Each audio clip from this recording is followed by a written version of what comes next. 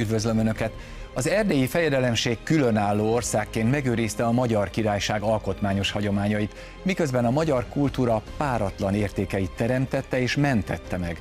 De hogyan tudott Erdély megmaradni és felemelkedni a Habsburg és az oszmán birodalom szorításában? Erről lesz ma szó, tartsanak velünk! Varga Nagy Ilona utána jár, hogy miképp jelenik meg Erdély aranykora a román és török történelem szemléletben. Székely Blanka bemutatja, hogyan hatott a magyar kultúrára az erdélyi fejedelemség. Koltai Bori pedig Betlen és Bátori konfliktusának okait keresi. Tündérkert. Bár a megnevezés az erdélyi fejedelemség tűnékenységére utal, mégis sikerült megszilárdítani a határait. A történészek között azonban a mai napig vita van Erdély függetlenségéről. De hogyan látják a fejedelemség szuverenitását magyar, török és román részről? Ezzel kezdünk.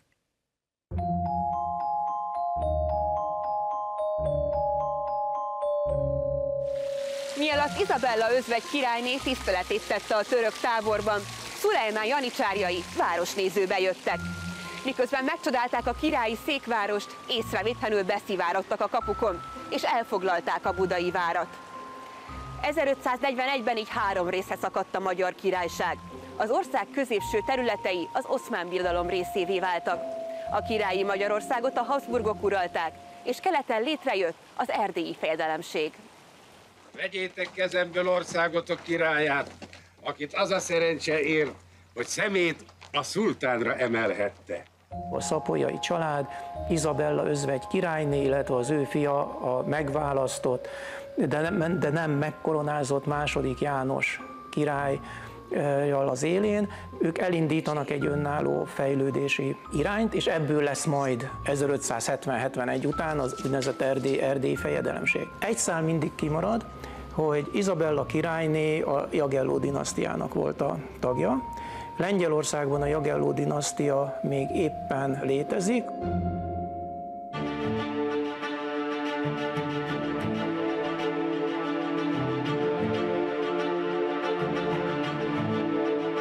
Van egy nagyon egészséges és izgalmas párbeszéd azzal kapcsolatban, hogy valóban mi is Erdély, lázadó hatalom, és hogy a fejedelmek azok mennyiben tekinthetők ilyen értelemben lázadóknak.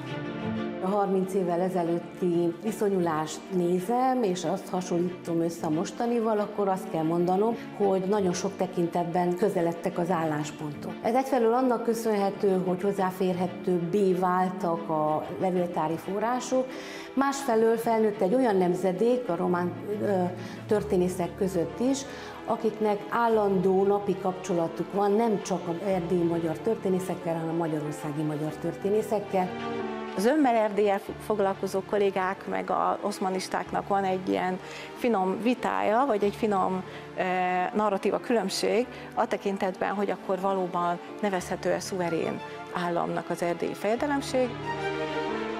Ez egy igazi nagy hódító korszaka az oszmán történelmnek, és ezt az oszmán narratívát gyakorlatilag a polgári török történetírás is tovább viszi. Az természetesen igaz, hogy azért már sokkal árnyaltabban látják, az egész oszmán hódítás beillesztik egy nagy európai politika történeti nagy összefüggésrendszerbe. Ők nem ott lent a Balkánon építenek birodalmat, hanem ők itt Európában építenek birodalmat, és ez egy európai állam. Megjelenik egy nagyon erős nemzeti gondolkodás, és az a nemzeti gondolkodás, ez a történetírásunkban is jelen van, és egy kicsit Erdély ettől kezdve a 18-19. században egyértelműen független magyar királyságnak a képe, vagy az előképe, vagy egy kicsit a szimbólumává válik. Tehát mindannak a függetlenségnek, amivel egy kicsit a Magyarország 18-19. századi nemzeti gondolatában szeretett volna válni. A magyarság keresi saját identitását, és egyszer csak jön egy gondolat, meg jönnek olyan adatok, hogy ja, de hát itt valami rokon nép van.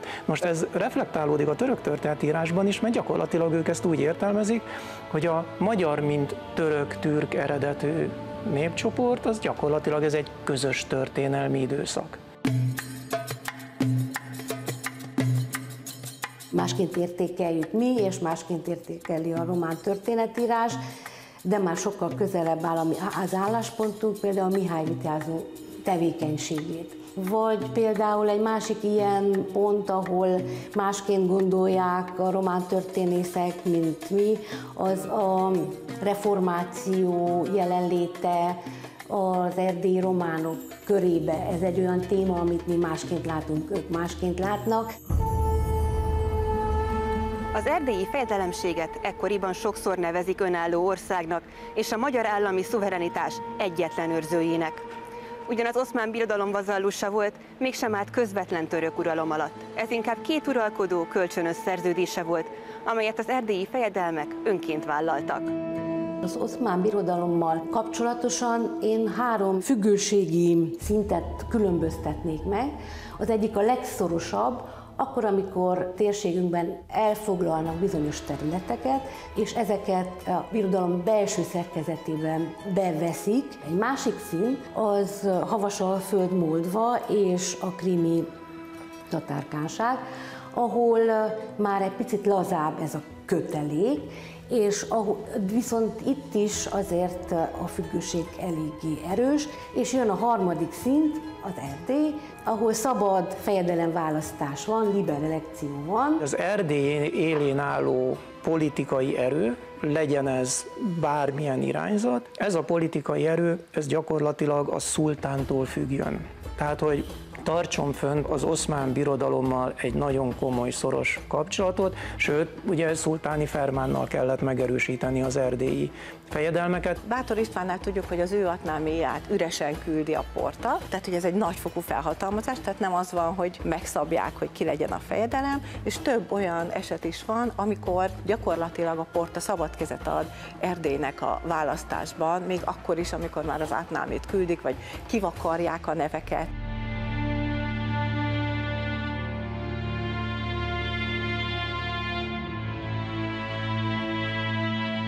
Önálló szereplőként vett részt ugye a 30 éves háborúban, és a Westfáliai béke tárgyalásokon egyenlő partnerként nem csak ő maga önállóan képvisel bizonyos kérdéseket, hanem a, a háborúban résztvevő partnerek is egyenlő félként kezelték.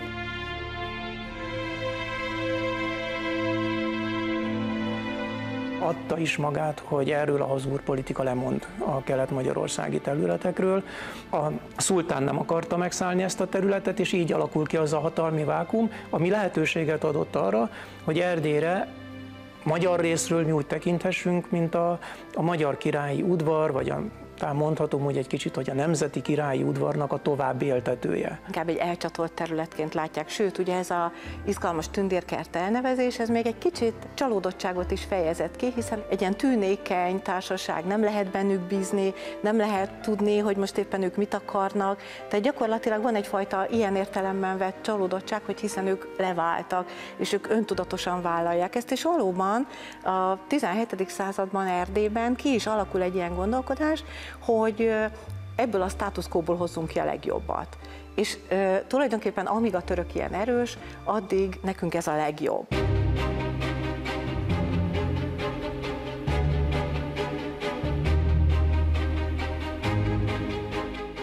Itt nem csak az oszmán és a német-római császárság vitájáról van szó, nemzetközi dokumentumokban is megjelenik az, hogy Erdély lényegében része lesz az európai hatalmi játszmáknak.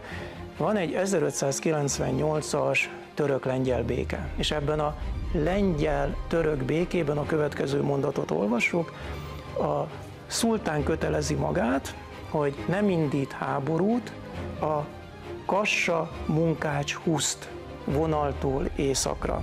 Ebbe belesik természetesen Erdély is, tehát Kis túlzással úgy is lehet fogalmazni, hogy az erdély fejedelem függetlenségét egy lengyel garancia biztosította. Egyrészt képes volt megvalósítani azt, hogy a, az aranykor tekintve mindenképpen a saját határait meg tudta védeni, hogy egy belső békét tudott teremteni, és ezt mindenképpen állíthatjuk, hogy ezek olyan elemek, amik egy nemzetnek az önállóságát mutatják.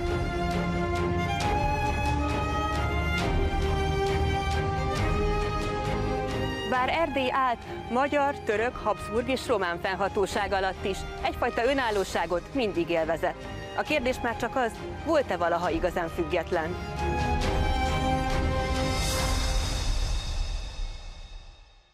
Vendégem a stúdióban Óvorni Terész történész. Jó estét kívánok önnek! Estét kívánok! Könyvet is írt erről az időszakról, Erdély fejedelmei címmel. Jó pár képét láthattuk egyébként az iménti riportban. Szóval ország volt-e valójában Erdély ország, illetve ha az volt, akkor milyen területeken volt önálló, és milyen területeken hát szó sem lehetett az önállóságról. Külügy, hadügy, egyebek, amelyek ugye megszokottan azért idegen befolyás alatt vannak egy nem teljesen független országnál.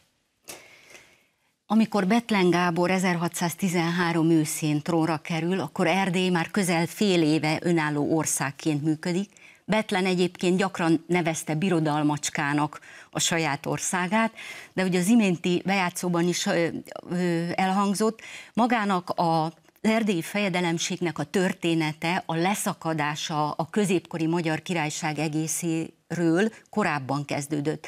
Betlen időszakában, ha arról szabad egy kicsit bővebben beszélni, is változott ennek a, a kérdésnek a helyzete. Betlen ugyanis, amikor trónra került, akkor egy egy küzdelmet kezdett el folytatni az ő fejedelemsége elfogadtatása érdekében. Második Mátyással három évig folytak a tárgyalások, míg végül 1615-ben megkötötték a nagyszombati szerződést, amelyben a Habsburg magyar király számos konfliktus, súlyos konfliktus után hát kénytelen volt Betlen fejedelemségét elfogadni, az ő trónra lépésébe beleegyezni, de tegyük hozzá, hogy ebben az állam jogi dokumentumban, amelyet nagyszombati szerződésnek nevezünk, a fejedelem címet nem adták meg neki, tehát Dominusnak, úrnak nevezték, vagy jó esetben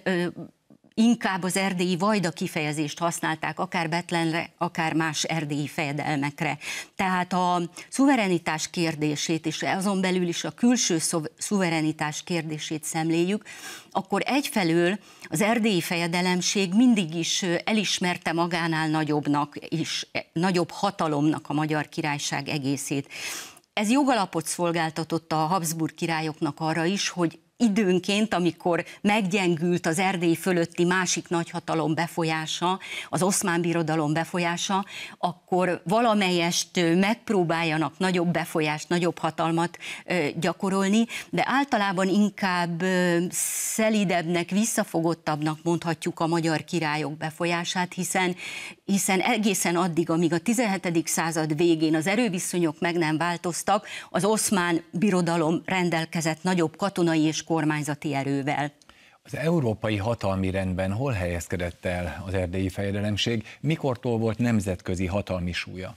De ez egyértelműen Betlen idején került erre sor, aki az uralkodása ötödik évében, 1619-ben lépett ki a nemzetközi politika színterére, hogy egy, egy későbbi történetíró szavait idézem, aki füstös kis tatárnak apostrofálta Betlent, aki belépett az európai nagypolitika szinterére akkor, amikor elindult 1619. augusztusában hadsereggel a Habsburg dinasztia ellen, a Habsburg magyar király ellen.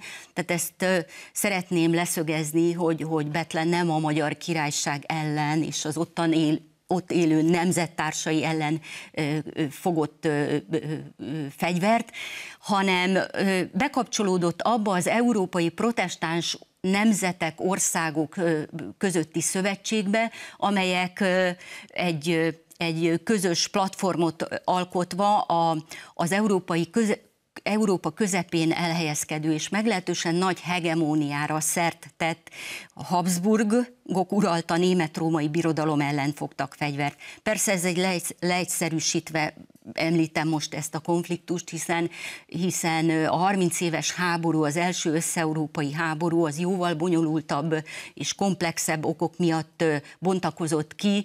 A, a vallási összeütközések is részei voltak ezeknek a, az, a konfliktusoknak, de Betlen, ahogyan Alvinci Péter, az ő hát szószólója, kassai prédikátor megfogalmazta a Querela Hungárié, vagy a Magyarország Panasza című röpiratában több Európa több nyelven terjesztett röpiratában az igaz hit védelmében és a magyar rendi jogok védelmében fogott harcot, fogott fegyvert, bocsánat. Tehát, hogy, hogy, hogy ez egy összetett helyzet volt, és ennek ellenére Betlennek sikerült a háromszori hadjárata révén az 1620-as évek végére elérnie, hogy Erdélyel komolyan számoltak Hollandia, Dánia, Anglia és más protestáns országok, Svédország is egy bizonyos szakaszban, és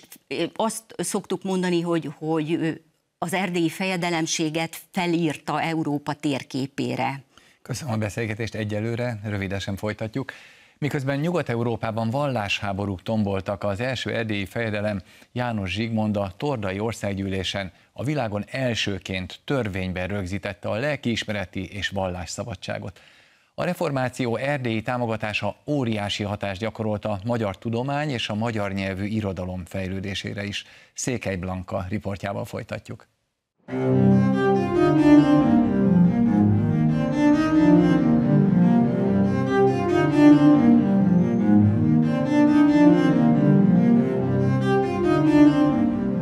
fejedelemség korát kevés helyen lehet jobban megidézni Kolozsváron, mint a Szent Mihály templomban. Az Erdély gótikának egyik legnagyobb és legszebb templomát 1444-ben befejezték, de eleganciájának és monumentalitásának köszönhetően jelentős szerepet játszott a fejedelemség korában, nem csak egyházi, hanem társadalomtörténeti és politikai vonatkozásban is.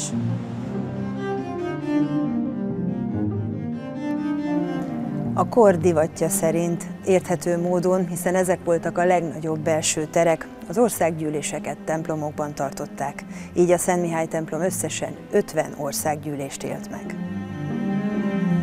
A fejedelemség formálódásának időszakában Izabella királyné itt vette át a kormányzást 1556. október 23-án, és itt fogadta a követek hódolatát.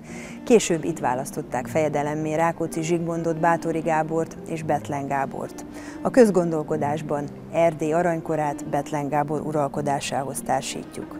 Így van ez? Mit is fed pontosan az Erdély aranykora kifejezés? Nem független, de önálló Erdély békés, fejlődő korszakát jelenti, és ennek a kezdete nyilvánvalóan Betlen Gábornak a több mint másfél évtizedes uralkodása Erdélyben, de igazából az aranykorhoz szokták még számítani első Rákóczi György időszakát, illetőleg az utódát is, második Rákóczi Györgyét is 1657-ig. Azért is lett igazából eh, aranykor, a Betlen Gábor eh, alapozta ezt meg, mert sikerült eh, gazdaságilag is helyreállítani az országot jó kormányzással, jó ügyes adópolitikával. Hogyan őrzi, hogyan hagyományozza tovább ezt a korszakot az erdély magyarság? Nagyon pozitív korszaknak érzi, különféle intézmények is segítik az emlékezetben tartást. Gondolok itt arra, hogy a Betlen alapította Akadémikum Kollégium, amit ugye Apafi Mihály költöztetett Enyedre, és mindmáig ott működik. Annak a az egész kisugárzása folyamatosan ébren tartja Betlen Gábor emlékét. Mint egy visszahatásként gondolták az erdélyek úgy, hogy Erdély és az itteni nemzetek együttélése az valami pluszot, valami újat, jobbat hozhat. Ragyogó téli nap volt odakint, február 10-e, vasárnap. De mi az ördögöt tudnak úgy csodálni ezeken az ablakokon, mondta magában.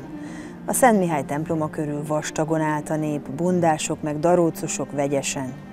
Mápék csak délére gyűn meg a fiatal fejedelemasszony, perelt velük magában a hajdúlegény.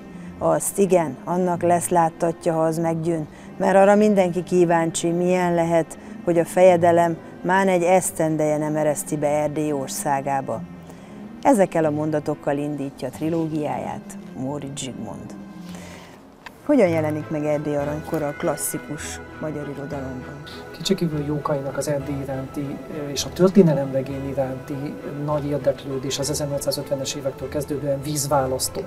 A, a Magyar Nemzet Története regényes képekben című sorozata, amely aztán nagyon sok változatban megjelenik, tartalmaz egy nagyon fontos, nagyon beszédes részt Betlenről, és azt mondja, hogy a második szabadságharc hőse, meg a szabadságharc Mencsvára Erdély, ugye ezek nagyon utalásos, erős mondatok a, a szabadságharcot követően, meg hogy Betlen után már csak úgymond apró fejedelmek uralkodnak egymás hegyén hátán, hogy ő fejezi ki magát, és ez azért nagyon érdekes, mert innen jól lehet érteni az Erdély aranykorát, ami valójában az első nagy történelmi regénye, és a Józsika Miklós Abba fia utáni magyar történelmi regénynek egy fordulópontja.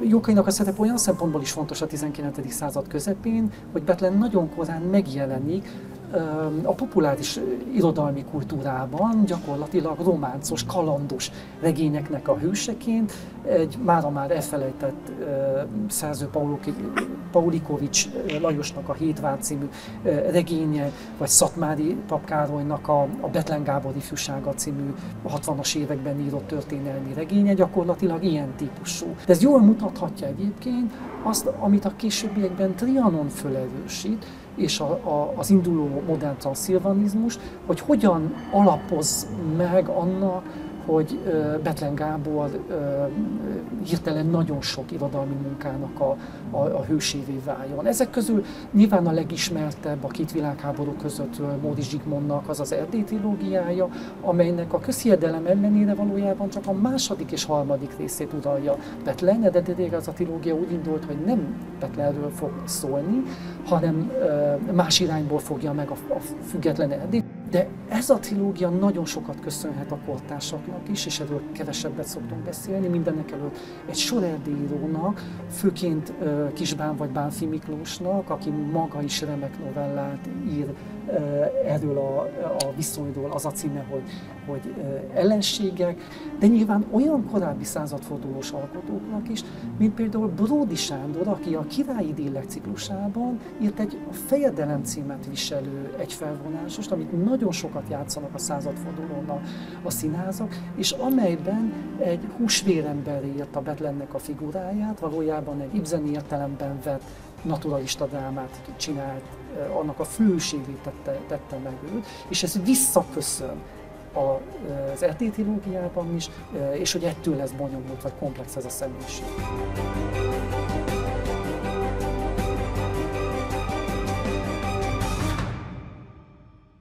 Mi pedig folytatjuk Oborni Teréz történésszel.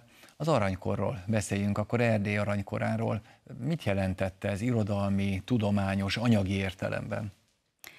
Talán érdemes azzal indítani, hogy mihez képest beszélhetünk aranykorról. Betlen és a két Rákóczi György uralkodásának ideje, tehát 1613-tól 1658-ig szoktuk e- Erdély aranykorát megemlíteni, de mindenki Betlen Gábor volt az, aki megteremtette azokat a körülményeket, amelyek elhozták a tündérkert, az az erdélyi fejedelemség számára az aranykort. Nem annyira a, a az állami adókból gyarapította a kincstárát, mint inkább az utóbbi évek kutatásai alapján állíthatjuk, mint inkább óriási kereskedelmi forgalmat bonyolított le Moldván, Havasalföldön keresztül délre az oszmán birodalommal, de Velencével is, illetve amikor megszerezte a háborúk után az 1000 622. évi Nikolsburgi békében a hét felső magyarországi vármegyét, tehát a felső Tisza vidékének szintén gazdag bányavárosait, vagy Tokajhegy alját,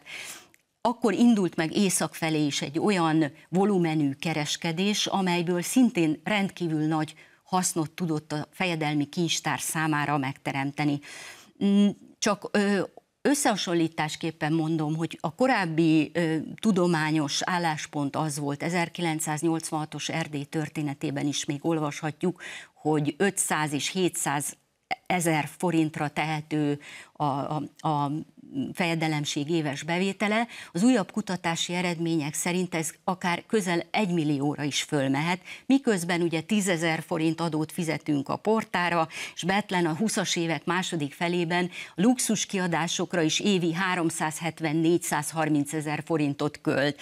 Tehát meggazdagodott az ország, és ezt azért részleteztem egy kicsit jobban, hogy lássuk, mire tudta építeni azt a szellemi felvirágzást, amely ezt a korszakot jellemezte. Különösen ö, ö, elhatározott szándéka volt az ország kultúrájának és az oktatásának a felvirágoztatása. Már 1614-ben olvasunk tőle olyan sorokat, amelyben azt írja, hogy megfogyatkoztak a felső szintű és még a középszintű képzettséggel rendelkezett emberek is az országban, és aztán 1617-ben már főiskolát, akadémikumot akar ö, alapítani Kolozsvárot, míg aztán eljutunk 1622-re, amikor is az országgyűléssel meghozatja azt a törvényt, hogy egy felsőszintű iskolát, ha nem is egyetemet, de mindenképpen egy talán a mai rendszerben főiskolának nevezhető intézményt alapít meg Gyulafehérvárot, elsőként Kolozsváron szerette volna, de ott a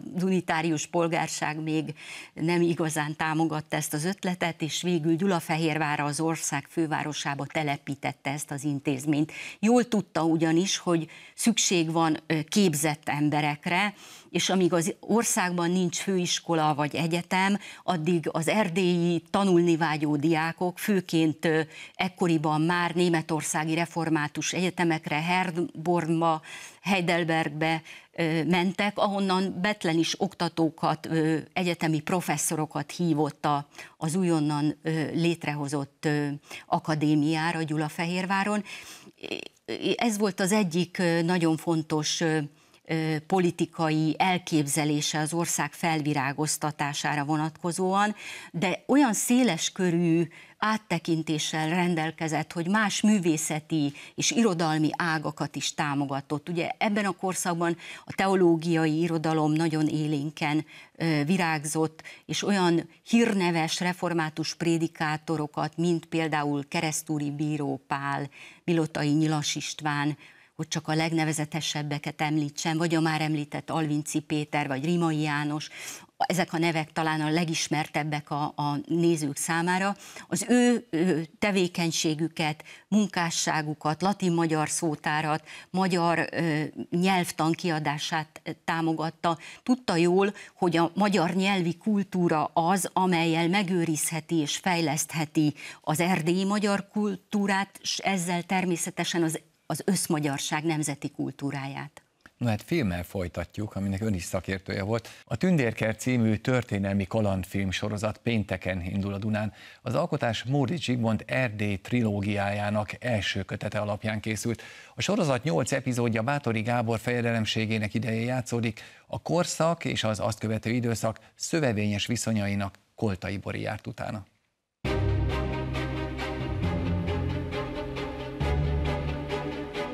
Bátori Gábor a szemtelenül fiatal és vakmerő, nők által bálványozott fejedelem, és Betlen Gábor a megfontolt, művelt tanítómester.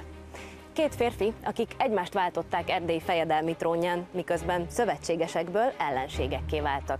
De vajon kettejük párharcában tényleg a szenvedély és a nyugodt erő feszült egymásnak? Lássuk, miért és hogyan változott kettejük viszonya.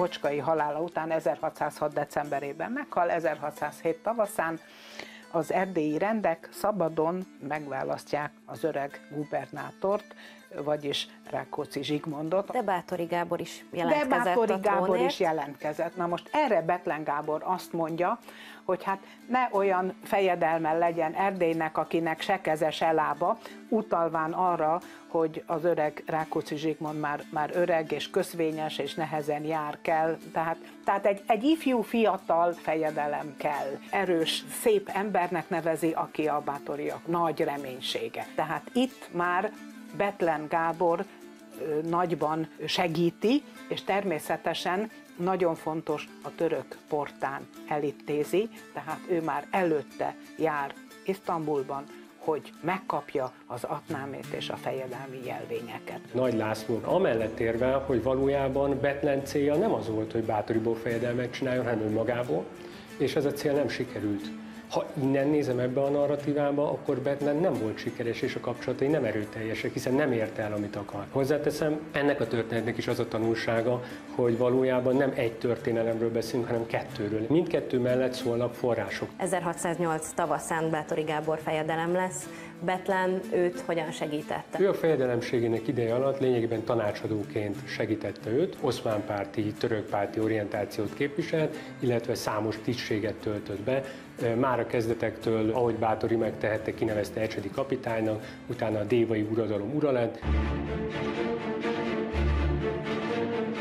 1610-ben kezdett már elszaladni a ló Bátori Gáborral. 1610 decemberében és 1611 januárjában, tehát pont ugye karácsony után indul el a havasok felé, havaselve meghódítására. Török engedély nélkül, és magát kiáltja ki fejedelemnek. Na most Betlen Gábor ekkor is mellette van, ott van, vele van, a hadat vezeti. De a török viszont rászól, egy másik vajdát tesz helyére, és felszólítja, hogy térjen vissza Erdélyben, mert ott semmi keresni valója. Az abszolút hatalomra való törekvését és törését az is jelzi, hogy 1610. decemberében elfoglalja a szászok fővárosát Szebent. Igen ám, de hát a szászok ezt iszonyatosan sérelmezik, sőt, majd aztán Brassót is meg akarja szállni, ekkor az a, az a bizonyos csata lezajlik, amit egyébként elveszít Bátori Gábor, de kimenti meg megint csak Betlen Gábor, mert mivel jön, török segélycsapatokkal jön, és 1611 télén pedig hát nagy veszteségekkel alig tud hazavergődni a magyar királyi csapat. Idővel kiderült, hogy a két férfi politikai nézetei különböznek. A nagyhatalmak csatározásának árnyékában máshogyan képzelték Erdély jövőjét. 1612 őszén, amikor már Betlen Gábor sem hallgatja meg jó tanácsaival, Bátori Gábor megpróbált tárgyalásokat a magyar királyság embereivel is, hogy újra a magyar király hát joghatósága alá helyezze majd Erdélyt. A helyi erdélyi száz közösségek, akiket szintén Bátori Gábor politikai érdekeiben sértett, kérik Betlent, hogy tegyen valamit, illetve Betlennek saját motiváció is vannak, hogy fölvegye a kapcsolatot a Temesvári pasával, illetve rajta keresztül tulajdonképpen a szultánig jusson el. És ez a levél, amelyben felveszi a kapcsolatot, ez tulajdonképpen eljut Bátori Gáborhoz. Ennek a levélnek lesz a következménye ugye a teljes bizalomvesztés, ami végül is érthető a Bátori Gábor oldaláról is. Tehát ő itt egy összeesküvés, az ő szemszögéből egy összeesküvéssel szembesül. Betlen Gábor magyarázata az volt, hogy a fejedelme kezdte előtt üldözni, természetesen ok nélkül, illetve lényegben halálos ítéletet kapott, ezért kellett menekülnie. A másik magyarázata az egy spanyol vendége felé volt, Don Diego de Estradának mondta azt, hogy lényegében itt a feleségét Károly Zsuzsannát megerőszakolta volna Bátori Gábor, ez egyébként egy viszonylag későn elhangzott magyarázat. Bátori Gábor megítélése azért nagyon nehéz, mert a legtöbb forrást az Betlen és a Betlenhez kötődő személyek termelték. Tehát valójában Bátorit zömbel Betlen szemén át látjuk. Betlen árulást követett el? Azért azzal, hogy mondjuk a fejedelem iránti hűségesküjét megszegte, azzal azért vádolható. Az a kérdés, hogy milyen eszköztár megengedett abba, hogy egy államférfi mondjuk megmentse az országát. Az aranybulla ellenállási záradékára hivatkozik. Tehát amikor az uralkodó zsarnokká válik, ugye, és olyan zsarnokká válik, hogy országát és a rendeket akarja elveszejteni, akkor ugye Isten támaszt egy megmentőt.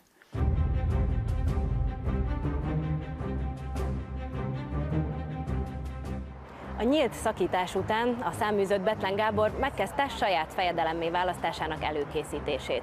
Az első nyilván a megfelelő helyeken való panaszkodás, amelyek a szultánig jutottak. Egyébként nagyon érdekes, hogy a panaszai között szerepelt az a reálpolitikai érv, hogy Bátori Gábor Habsburg oldalra állt, de szerepeltek olyan érvek is, amelyek Bátori Gábor erkölcsiségére vonatkoztak. Az oszmán portának, udvarnak nem ez volt az igazi probléma, hanem az, hogy Bátori Gábor nem akarta befizetni az adót, amit egyébként akkoriban ajándéknak hívtak. Betlen Gábor 1613 őszén valóban török csapatokkal érkezik. Megígérték Betlen Gábornak, hogy senkinek ugye egy báránykárt sem tösznek, aztán kihajtottak 25 ezer rabot, legalábbis a kortársak ugye így nyilatkoznak. Az erdélyi országgyűlés és rendek választották az erdélyi fejedelmet.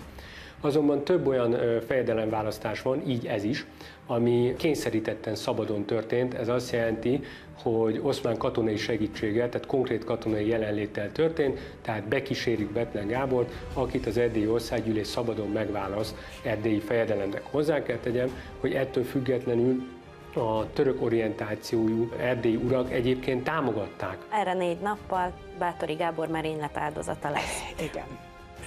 A rossz nyelvek mondtak olyat, hogy ebben Betlen keze is benne lehetett. Ön erről mit gondol? Nagyon sok ellentmondó okirat van ezzel kapcsolatban. Két hajdú legény gyilkolja meg. Na most, hogy Betlen Gábor rendelte volna el, én nem, nem, nem hiszem, hogy idáig elment volna. Nagy László egészen biztos abban, ugyan forrásokkal nem igazán bizonyítható ezt, hogy Betlennek benne lehetett ebbe a keze. Ha meggondoljuk, logikai alapon akár össze is állna a kép, hogy egy merénylet szervezésében részt vesz. Minden esetre ez a két hajdú, ez, ez hát jutalmat várt Betlen Gábortól, de nem jutalmat kapott, hanem kivégezték őket.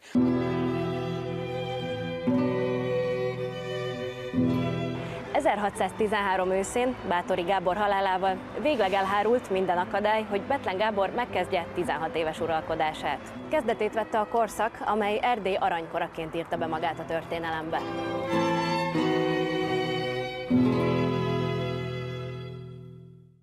Mi pedig a stúdióban folytatjuk Óvarni Terézzel, a Tündérkert történész szakértőjével.